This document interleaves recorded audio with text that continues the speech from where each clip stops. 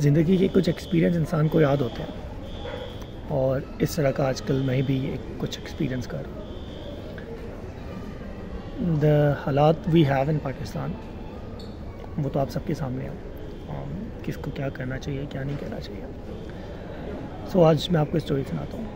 I had a flight to Pakistan today at four P M as a Pakistani चूँकि हमें कहा जाता है कि आप तीन चार घंटे पहले आ जाएँ फ़्लाइट से तो with good respect and everything I came early like four hours early इससे ज़्यादा ही बट चलो कह लो four hours but when I came in to airport I realize I came to know actually कि ये जो फ़्लाइट है, वो दो घंटे डिले है.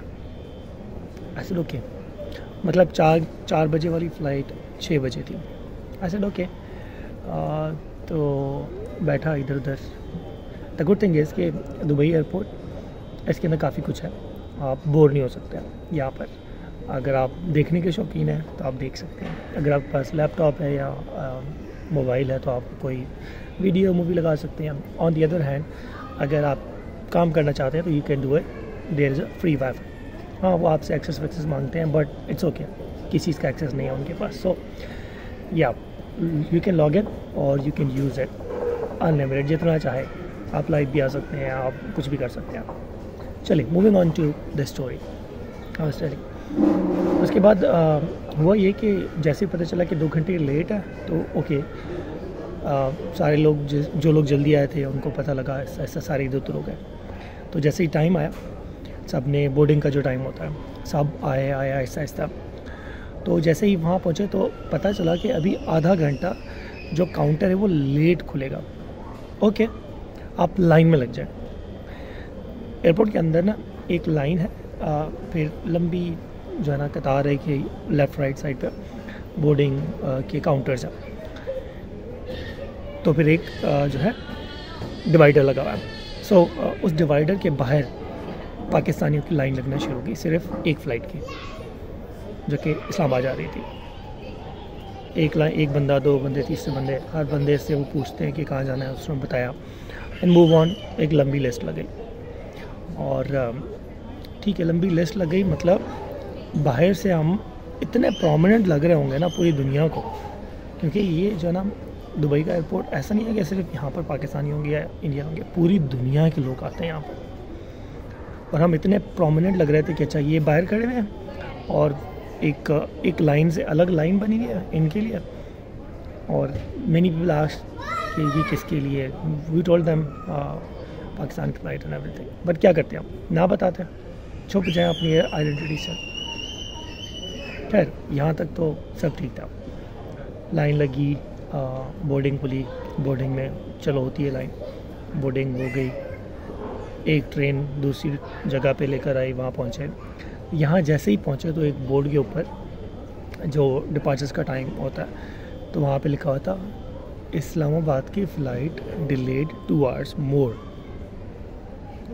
मतलब दो घंटे पहले, दो घंटे बाद में, चार घंटे फ़्लाइट डिले और ये सारी चीज़ें हो सकती थी अगर हमें पहले ही इन्फॉर्म कर दिया जाए कि भाई आपने नहीं जाना या लेट जाना है तो आप बता दो।